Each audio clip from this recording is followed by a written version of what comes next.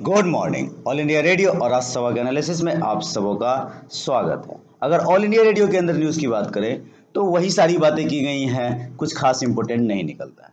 देश देशांतर के अंदर बात करें तो देश देशांतर के अंदर जो बात की गई है, वो सोशल मीडिया को रेगुलेशन के लिए बात की गई है। दो चार पॉइंट्स इंपॉर्टेंट है डिस्कस करेंगे। नेक्स्ट द बिग पिक्चर के अंदर जो बात की गई है, वो बात की गई है यूके का यूके का कॉन्स्टिट्यूशनल क्राइसिस के बारे में डिस्कस करेंगे। नेक्स्ट जो बात की गई है, वो इनडेप्थ के अंदर बात की गई है। इनडेप्थ के अंदर हमारे पीएम को बहुत सारे अवार्ड मिले हैं, उसी के बारे में एक दो जितने भी अवार्ड मिले हैं, एक जगह इकट्ठा करके डिस्कस करेंगे। विशेष के अंदर जो बात की गई है, वो बात की गई है हमारे अमिताभ बच्चन को दादा साहब फाल्के अवार्ड मिला है। तो ये तो इम्पोर्टेंट नहीं होता है, आप जानते हो। तो चलिए डिस्कशन स्टार्ट करते हैं। पहली न्यूज़ जो है हमारे पास वो यहाँ पर जो है, सो हमारे प्रधानमंत्री जी को अवार्ड मिला है। अभी रिसेंट आपको ये बात पता है, लेकिन यहाँ पर यूएई ने अवार्ड दिया था यूएई ने। ये यूएई ने जो अवार्ड दिया था, क्या दिया था, याद करो आप लोग, याद आए तो ये order of Zayed order of Z A Y E D order of Zayed U A ने दिया था। नेक्स्ट बात करें तो दूसरा जो है, सो यहाँ पर अवार्ड दिया गया था रसिया के द्वारा। रसिया के द्वारा Andrew the apostle order of the नहीं, ये नहीं order order of S T Andrew Andrew the apostle apostle तो राजपटा नाम है, इस तरह का हो तो आपको रसिया ध्यान रखना है हाईएस्ट कॉन्फर्ट अवार्ड है।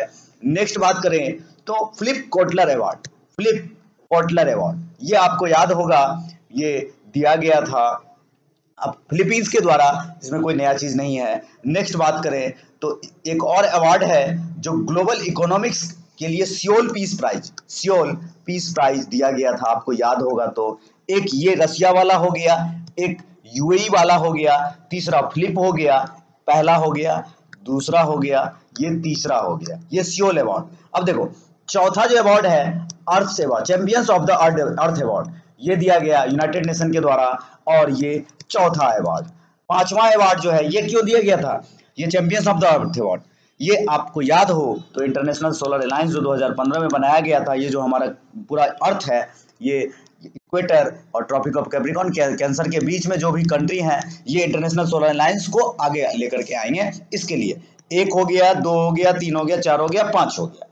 अब पांचवा के बाद छठा collar of the state Palestine collar of the state Palestine ज़ाहिर सी बात है पैलेस्टाइन समझ रहे हो। ये ये हो गया पांचवा अवार्ड अब छठा अवार्ड जो है, अफ़गानिस्तान में दिया गया था अमीर अमीर अमीर अब्दुल्ला खान। अमीर अब्दुल्ला खान पाकिस्तान ने दिया था, ये इंपॉर्टेंट होता है।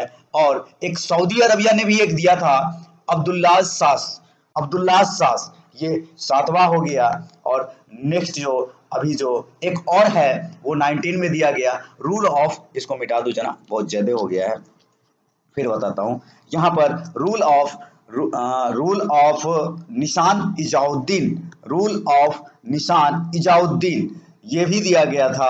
आपको याद हो तो नेक्स्ट बात करें तो और कुछ भी नहीं है। मतलब अभी आपको पता ही है, सारा कंटेक्स्ट पता ही है, हमारे प्रधानमंत्री जी कहाँ गए हुए हैं क्या क्या ह्यूस्टन में हो रहा है, आप लोग अवेयर होंगे ही इन चीज़ों से। और अभी एक और नया जो दिया गया है ग्लोबल गोल कीपर अवार्ड ये 2019 अभी दिया गया है तो ये नया स्वच्छ भारत कैंपेन के लिए इनको दिया गया है। आपको ये सारी बातें ध्यान में रखनी है, बहुत इंपॉर्टेंट होता है। चलते हैं नेक्स्ट आर्टिकल पे नेक्स्ट आर्टिकल की बात करें तो देश देशांतर के अंदर बात की गई है। एक नागरिक, एक पहचान। मतलब कहने का है कि पासपोर्ट हो, उसको एक में ही सिमट सिमट जाए। चाहे ड्राइविंग लाइसेंस हो, चाहे जो भी चीज़ हमारे पास होता है, सारा कुछ एक ही में हो जाए। ये पॉसिबल तो नहीं लगता है, लेकिन गवर्नमेंट ने कहा है तो हो भी सकता है, क्योंकि अगर ड्राइविंग लाइसेंस है तो ड्राइविंग लाइसेंस के लिए पहले ट्रेनिंग की ज़रूरत होती है। पहले वो चेकआउट करते हैं, इसके प्रोसेस अलग होते हैं। इसके बाद दूसरे कुछ की बात करें तो दूसरे के भी पासपोर्ट है। तो सिटीजनशिप की ज़रूरत होती है तो सबके अलग अलग तरह चीज़ें होती हैं। हालाँकि गवर्नमेंट ने बात कही बात कही है तो हो सकता है इम्प्लीमेंट भी हो डाटा सिक्योरिटी का इशू हो जाएगा। प्रोसेस क्या होगा इसका? किस तरह से वो वैलिड होगा, क्या होगा, नहीं होगा, ये सब आप चैलेंजेस में, और नेक्स्ट फंडामेंटल राइट का कहीं वायलेशन तो नहीं हो रहा।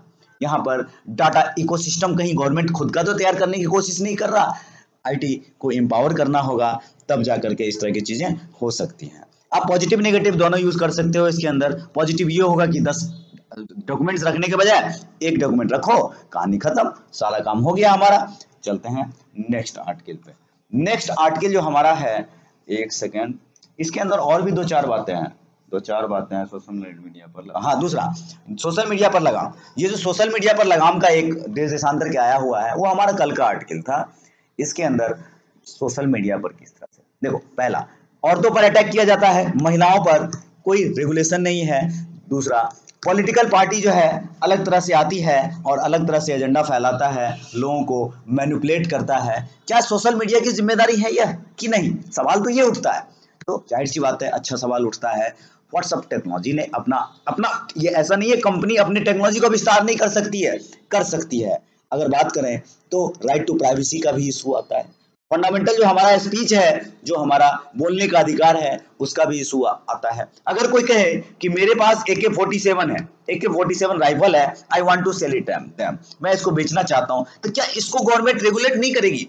ये कंपनी का ज़िम्मेदारी नहीं बनता है कि आप ऐसे इंफॉर्मेशन को गवर्नमेंट को सूचित करें या पुलिस को सूचित करें और ऐसे लोगों को पकड़ा जाए। तो इस तरह के एग्जाम्पल्स को आप यूज़ कर सकते हो। ज़िम्मेदारी तो कंपनी की बनती है।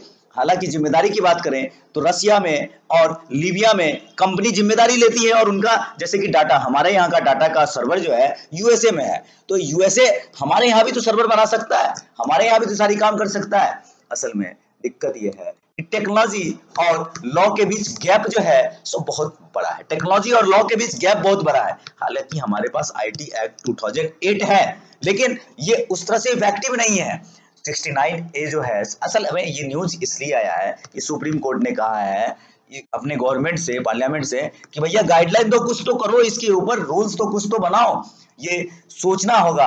कभी कभी सोशल मीडिया का रोल पहले यहाँ पर आ जाता है। आप पॉजिटिव पॉइंट्स को भी इग्नोर नहीं कर सकते हो। आईटी एक्ट को मद्देनजर रखते हुए लॉ तो बनाया जा सकता है। ऐसा कुछ नहीं है लॉ नहीं बनाया जा सकता है। रूल्स रेगुलेशंस सब कुछ को ध्यान में रखते हुए राइट टू प्राइवेसी सारा कुछ को फ्रीडम ऑफ़ स्पेस सबको ध्यान में रख करके बनाया जा सकता है। चलते हैं नेक्स्ट आर्टिकल में। नेक्स्ट आर्टिकल की बात करें तो यूएस यूके में कॉन्स्टिट्यूशनल अनकॉन्स्टिट्यूशनल क्राइसिस आपको पता है कि यूके में जो है सो रिटर्न कॉन्स्टिट्यूशन नहीं है, ये बात आपको मालूम है। तो यहाँ पर कॉन्स्टिट्यूशन क्राइसिस मतलब रॉ रिलेटेड टू पार्लियामेंट जो है मतलब क्या यूज़ करे, किस तरह से नहीं करे, हमारे यहाँ तो पार्लियामेंट डिजॉल्व हो जाता है। लेकिन वहाँ नहीं होता है। पॉलिटिकल अथॉरिटी ऑफ़ पीएम के पास होता है। Case of conflict between representative democracy and direct democracy इनके बीच होता है, टसल बिटवीन टसल होता है एग्जीक्यूटिव और लेजिस्लेचर के बीच। अगर कोई इलेक्शन में मतलब majority of the people because the fix parliament act 2011 executive from calling snap election ये कुछ इंपॉर्टेंट नहीं होगा। मतलब आयरिस बैक स्टॉप या फिर इमिग्रेंट इशू जो बढ़ता जा रहा है प्ले बैक डील बैकग्राउंड से भी कुछ डील होता है। शुड बी ही क्विट मतलब बावन से अड़तालीस voting in favour leaving actually ये वहाँ की डेमोक्रेसी का इस तरह से बात कही जा रही है कि वहाँ का डेमोक्रेसी किस तरह से लोगों का सब, नेताओं का सपोर्ट करती है। Where to the powers law is there clear demarcation मतलब कहने का मतलब यह है कि पावर कहाँ है? क्लियर है क्या democracy judgement is based fact act suspension outside proceeding the parliament Supreme Court just justified does the Brexit complicate things further अगर ब्रेग्जिट हो जाता है तो ये कॉम्प्लीकेट ब्रेग्जिट तो अभी हुआ भी नहीं है। तो ये भी एक रीजन है बहुत बड़ा। Constitution exist in theory what is happening parliament is practice the referendum was emotion मतलब रिफरेंडम इमोशन की कहानी हो जाती है। What should be the forward क्या हुए फॉरवर्ड क्या होगा?